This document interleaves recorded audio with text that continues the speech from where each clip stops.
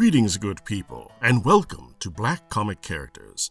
Thank you for joining us on our official first content video on YouTube. We truly appreciate you taking out the time to watch or listen. If you enjoy the content, please hit the like button and subscribe to us if you want to see more interesting content. Remember to hit the notification bell as well.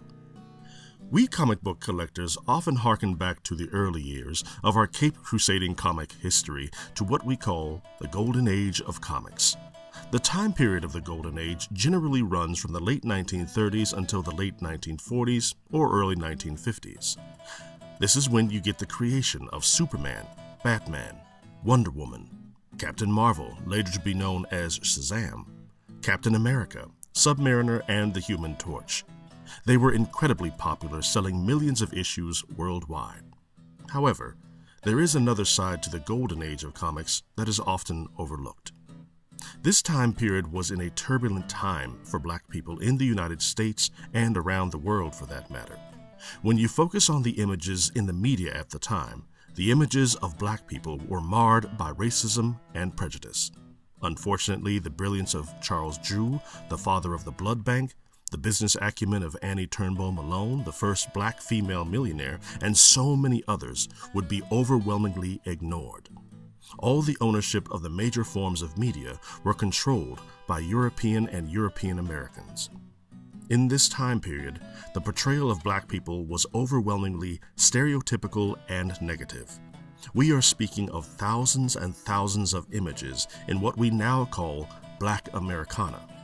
Advertisements, household items, movies, and other mediums wrongly portrayed black men and women as subservient, lazy, loud, unintelligent, and criminal. Unfortunately, these images also found their way directly into the comic book format as well.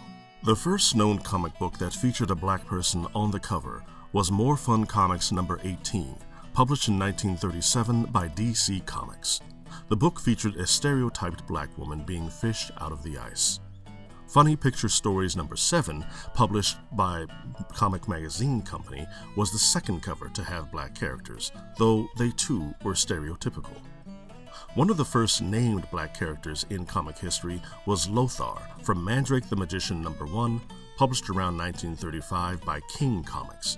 While Mandrake the Magician was a newspaper comic, it was later published as a comic book. Lothar is the sidekick to Mandrake. It's said that when the book was first published, Lothar was the stereotype of an African, donning leopard skin cloth and not speaking correct English. He had supernatural strength and used it to aid Mandrake. In 1939, Best Comics number 1 is to be noted because it featured the first known non-stereotypical black hero called the Red Mask. On the cover, he is shown protecting a white woman from a white male villain. Even the more famous comics of the Golden Age would include these stereotypes of black people. In Captain America number 9, published in 1941, we are introduced to a character called the Black Talon, who originally was a painter whose hand was mangled in an accident and had it replaced with that of a black murderer on death row who was executed for his crimes. The story is that the blood tainted the artist and turned him evil, only to be stopped by Captain America and Bucky. In the same year, on Captain Marvel number 23, the cover shows Captain Marvel aiming a cannon of a ship at an enemy, with his stereotypical sidekick Steamboat hitting the bottom of the cannon to fire it. Young Allies number 9 introduces a stereotypical black character called Whitewash Jones, who has no true usefulness to the group of white individuals who each has a unique talent. His talent is playing the harmonica. In a Superman comic around 1944, the cover shows Superman saving a young white man who was cooking in a large pot with a stereotypical African man watching the pot. It was in the mid 1940s when the stereotypes of black characters began slowly to diminish. Around this time was the end of World War II when soldiers were returned to the U.S. Black soldiers still wouldn't really be recognized until many years later such as the famed Tuskegee Airmen whose talented pilots helped bring the war to an end. Even with their brave efforts, many black soldiers came back to a country that still hated them. But in comics, the black character would begin to see slow changes that portrayed them more as actual human beings. Around 1945, DC produced World's Finest Number 17, which included a story about black soldiers who fought in World War II. Shortly afterwards, Challenger Comics number 1 was published. It depicted a white man, a black man, and a Hispanic man fighting off creatures that had the words hate and fear inscribed on them. This was a very forthcoming publication as it was a direct call against discrimination and prejudice. Also, in 1945, we are introduced to Voodah in Crown Comics number 3. Even though he was a jungle-themed character, he was one of the few first black non-stereotypical heroes to be featured in a comic book. In 1946, Picture News number 6 was the first cover to feature a black celebrity, the incomparable boxer Joe Louis. Then, in 1947, All Negro Comics is produced by Orrin C. Evans. This is the first known comic book produced by black people in history. It included four stories that portrayed black men and women in a more positive light. One of the stories included Lion Man, who can be considered one of the very first black heroes. Also, in 1947, Negro Heroes number 1 and 2 were published, which depicted the life stories of famous black Americans like Booker T. Washington and Jackie Robinson, who had just broken the color barrier in Major League Baseball. In the early 1950s, the superhero comic genre began to decline, but other genres cropped back into the forefront of the comic book world.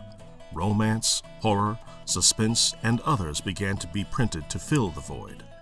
One of the more famous comics featuring black men and women was Negro Romance, published in 1950 by Fawcett Publications. This comic just ran for three issues, but it was the first that showed realistic black characters in the romance genre of comics. In 1951, Detective Comics number 167 was Batman's first comic to feature a black character on the cover. It was Cleopatra, when Batman and Robin are sent back in time. During the same year, King Solomon's Mines was published by Avon Publications, which subtly portrayed an interracial love with a battle between a white man and a black man vying for the heart of a black woman. During this time, EC Comics had been a major publisher of science fiction, fantasy, and horror comics. Originally, they had released a story in Weird Fantasy number 18 that dealt directly with race relations. EC was brilliant with his anti-prejudice story, but during the next age of comics, the Silver Age, it would also prove to be the subject of an upcoming battle. During the final years of the Golden Age, around 1954, Atlas Comics, which would later become the publisher that we all know and love, Marvel Comics, published Jungle Tales, who had a section in it that told the stories of Prince Waku of the Bantu.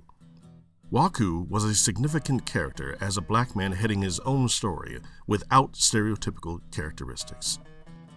Also, during the Golden Age is where we are introduced to the first known successful black comic artist, Matt Baker, who worked on several issues of several comics. So this is a brief history of black comic characters during the Golden Age of comics. The end of World War II prompted comic publishers to begin to turn the page of stereotypical characteristics of characters and actually begin to draw inspiration from actual black characteristics.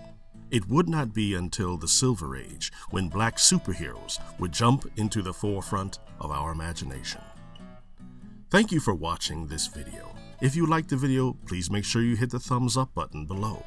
And if you want to see more on black comic characters, please make sure you hit the subscribe button to catch all the videos we will release in the future.